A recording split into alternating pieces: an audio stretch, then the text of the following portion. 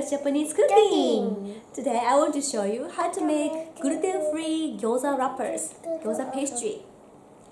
And these days, many gluten-free people come to my class.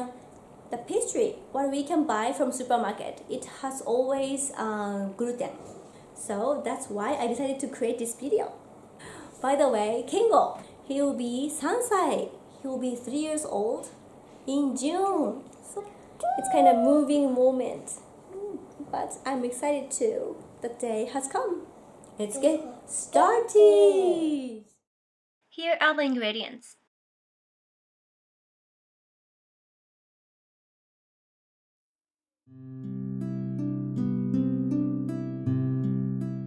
So at first, put potato starch in a pot.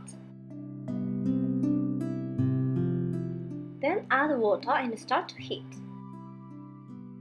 And gently mix potato starch and water until it becomes starchy. It takes about 5 minutes with medium-low heat.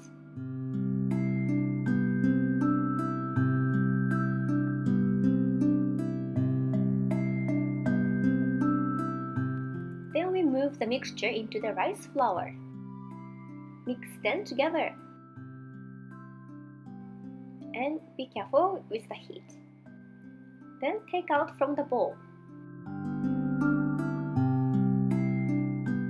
After adding oil, continue until it becomes together.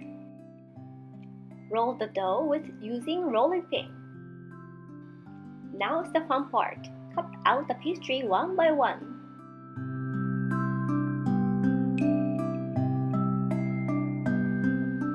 Continue until the dough is gone.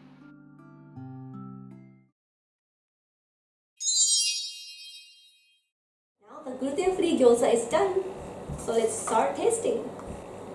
Okay, いただきます。Oh, it seems he like it. おいしい Ah. now he said uh, delicious in 大 Japanese. 好きだ Wow, いっぱい食べるね。Wow, he eats a lot. Wow. Wow. わ I'll try. おわ飲んでも食べよう。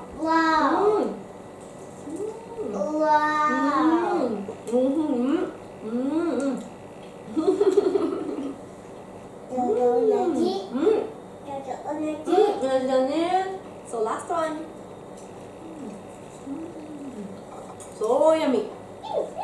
Thank you for watching everyone. So how was the recipe today? I hope you enjoyed and then create this recipe for your family and your friends. So if you have a request, please let me know. Please write the comment down below. あら Below. see you next time. Bye bye. バイバイ Bye bye. ガランガランやる？ピンチャー滑りたい。うん。